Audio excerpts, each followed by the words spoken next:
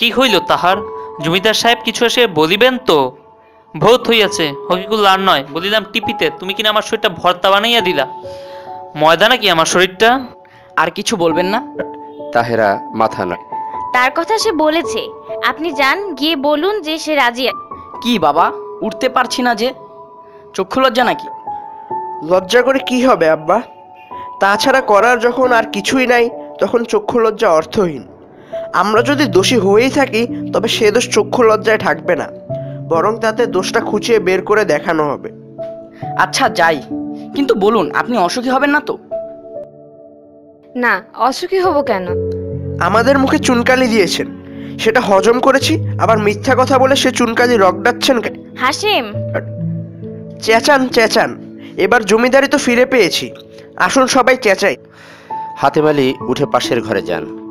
দরজা আধা খুলে হাসেম দাঁড়িয়ে থাকে। কি খবর জমিদার সাহেব? তিনি যাবেন। শকর আলহামদুলিল্লাহ। হকিকুল্লাহ হকিকুল্লাহ। কিন্তু একটা কথা আছে। তিনি রাজি আছেন আমি রাজি নই। আমি এভাবে টাকা নিতে পারব না। যায় যাক জমিদারি। ভাবিয়ে কথা বলিতেছেন কি? অনেক তো ভেবেছি। একদিন ভাবতে ভাবতে শরীরে আর কিছুই নাই। কিন্তু হঠাৎ সব ভয় ভাবনা কেটে গেছে। আরও মনে হচ্ছে নতুন এক জীবনের স্বাদ পেয়েছি। আব্বা ভালো ভালো যেমন বোঝেন। আমার আর কিছু বলিবার নাই। লাফিয়ে দরজার কাছে এসে। কি বললেন পীর সাহেবকে? বললাম তিনি রাজি আছেন কিন্তু এভাবে আমি টাকা চাই না। যাক জমিদারি। খোদেজা থ হয়ে দাঁড়িয়ে থাকে। হুম বেশ বলিয়াছেন। উত্তম কথা বলিয়াছেন। হুম উত্তম কথা অতি উত্তম কথা। পীর সাহেব আমাদের উপর রাগ করবেন না। আমাদের বদয়া দেবেন না। আমাকে আপনারা কি ভাবিয়াছেন? আমি পীর হইয়াছি বলিয়া কি মনুষ্য নই? ভাবিতেছেন আপনারাই সবাইকে একজন দয়ার সাগর আর আমি একটি হৃদয়হীন পশু বেদরত বেশরম জল্লাদ। জমিদার সাহেব বিনা শর্তে আপনি টাকা পাইবেন ইহা দান নয় ইহা পিড়ি বদান্যতাও নয় আপনাকে ইহা লইতেই হইবে। আমার বিশেষ অনুরোধ। পীর সাহেব কি বলছেন আপনি?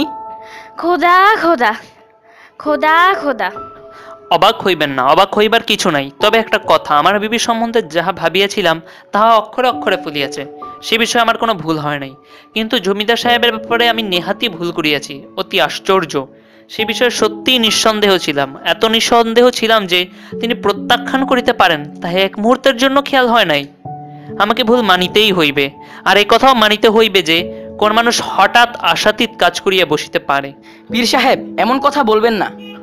না বলিয়া উপায় কি? কিন্তু ইহা প্রলাপ বোকার মতো চিন্তা করিবেন না টাকা আপনি পাইবেনই।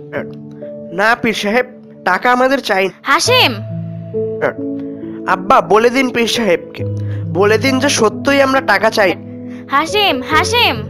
এখন বাবা কি? আমার আর কোনো শর্ত নাই। সকলে মিলিয়ে আমাকে অমানুষে পরিণত করিয়াছেন।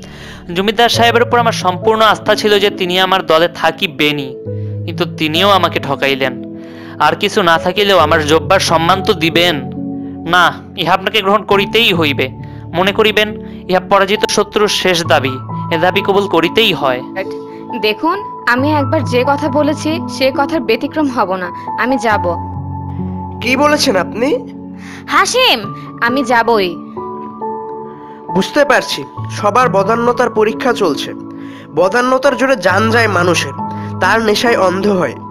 বুদ্ধি বিবেচনার শক্তিও হারায়। আপনি ভুল করবেন না। আপনার সত্যপণ এটা নয়। না আপনাকে নেশায় ধরেছে।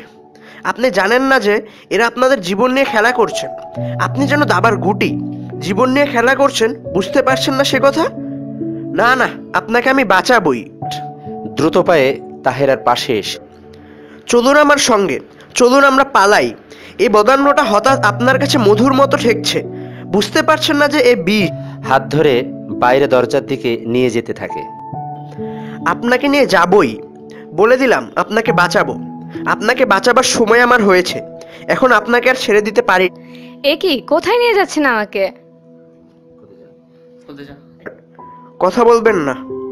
আর কি করছেন দাঁড়িয়ে দাঁড়িয়ে? থামান তাদের থামান আমার হাসেম দ্রুত গতিতে উঠে দরজার দিকে রওনা হতেই বহিপির হাত ধরে ফেলেন। আর ইশারায় খোদেজাকে ধৈর্য ধরতে বলেন। পীর সাহেব। ধৈর্য ধরুন ধৈর্য ধরুন। ততক্ষণে হাসেম তাহেরার হাত ধরে তীরে উঠে অদৃশ্য হয়ে গেছে। তাহেরার চলাটা ইচ্ছাকৃত না হলেও সে বিশেষ বাধা দেয় না। কেবল বলতে থাকে কোথায় যাব? কোথায় নিয়ে যাচ্ছেন আমাকে?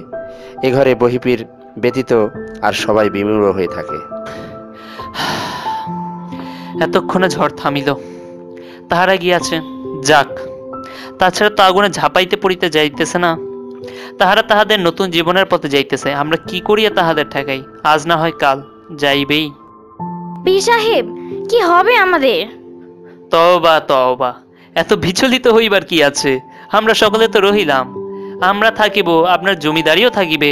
আমরা আমাদের পুরাতন দুনিয়ার মধ্যে সুখে স্বচ্ছন্দে বাকি দিন কাটিয়ে দেব। চিন্তার কি কারণ?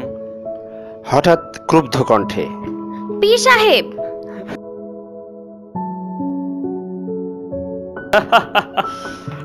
আপনি এইবার আমাকে বদয়া দিতেছেন। কিন্তু পীরের ওই এক সুবিধা, কোনো বদয়া পীরের গায়ে লাগে না। আসুন জমিদার সাহেব আপনি আপনার জমিদারি রক্ষার ব্যবস্থা করি।